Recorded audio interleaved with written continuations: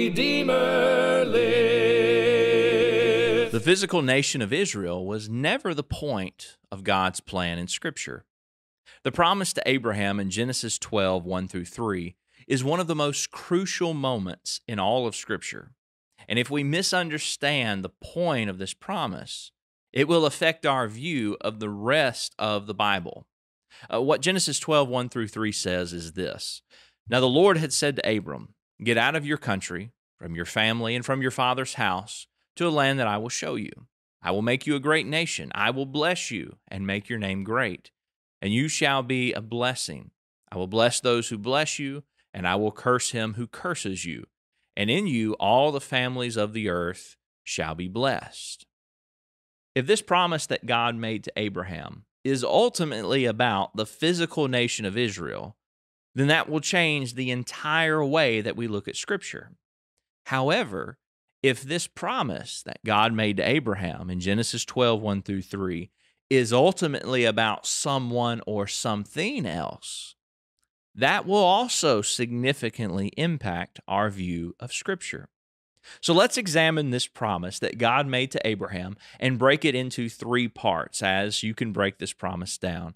The first part we'll talk about is a great nation. Israel became a great nation under King David and King Solomon. You can read about that in 2 Samuel all the way through the book of 1 Kings. The second part of this promise is the seed promise. Isaac was born to Abraham and Sarah just as God promised. You can read about that in Genesis chapter 21. So you have the great nation, you have the seed promise, you also have the land promise. And God also kept this promise to the physical descendants of Abraham and gave them all the land that he promised to give them. Joshua 21, verse 43 through 45, and Joshua 23, 14 makes this very clear. In fact, it says God gave them all the land that He had promised. They're not still waiting to receive the land today. God gave it all to them, every bit that He had promised. All three of these promises did apply to the physical nation of Israel, and God kept all three of them. But there was a greater meaning and purpose behind these three promises.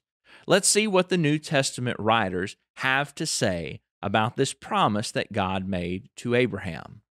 First of all, let's think about the first part of that promise, the seed promise. As we think about the seed promise to Abraham, and we think about some passages from Galatians chapter 3 through Galatians 4, verse 7. Uh, we won't read the whole thing, but I'm picking a few of these verses out to show you what the seed promise was really all about. Galatians chapter 3, verse 7 through verse 9 is where we'll first start. Paul, writing to the churches of Galatia, says this Therefore, know that only those who are of faith are sons of Abraham. And the scripture, foreseeing that God would justify the Gentiles by faith, preached the gospel to Abraham beforehand, saying, In you all the nations shall be blessed. So then, those who are of faith are blessed with believing Abraham. Those who are Christians, is Paul's point, are blessed with believing Abraham. You drop down a few verses later, and Paul continues on in Galatians 3:16, and he says, "Now to Abraham and his seed were the promises made." And he does not say, and to seeds, plural, as of many, but as of one, and to your seed, who is Christ. That's Galatians 3:16. And now Galatians 3:26 through 29, he continues on and says, For you are all sons of God through faith in Christ Jesus. For as many of you as were baptized into Christ have put on Christ.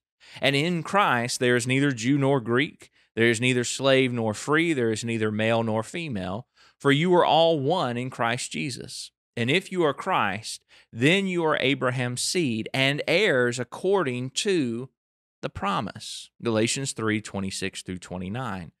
The Apostle Paul revealed to the Christians in Galatia that the ultimate fulfillment of the seed promise to Abraham is Jesus Christ and those who are his.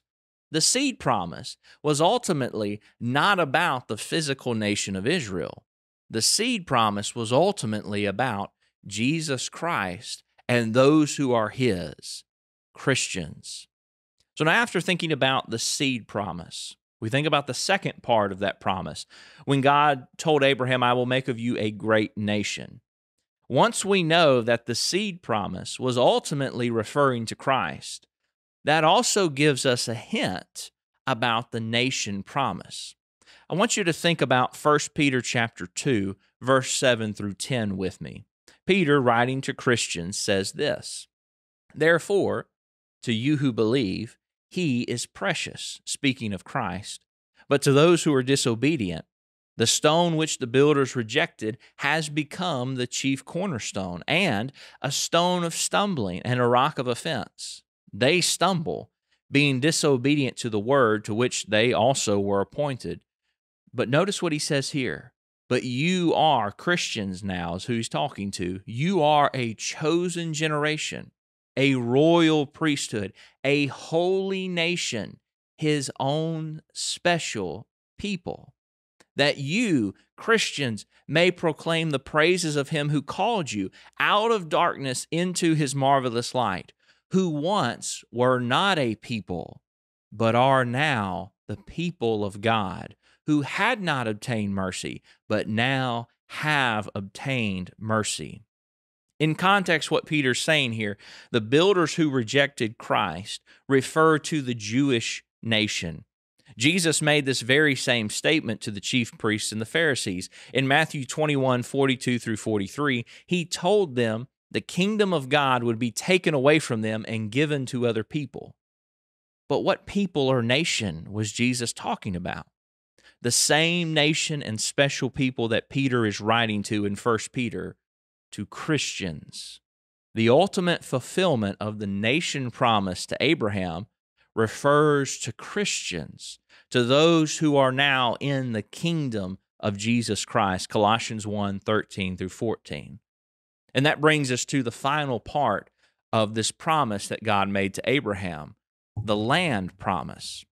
And by now, I hope that we realize that the land promised to Abraham was also about something far more significant and greater than the land of Canaan. And to show this from the scriptures, let's think about Hebrews 11, verse 13 through 16, and also Philippians 3, 20 through 21. First of all, the passage in Hebrews 11 says this These all died in faith. They're in the middle of that faith hall of fame we refer to not having received the promises, but having seen them afar off, were assured of them, embraced them, and confessed that they were strangers and pilgrims on the earth. For those who say such things, declare plainly that they seek a homeland. And truly, if they had called to mind that country from which they had come out, they would have had opportunity to return.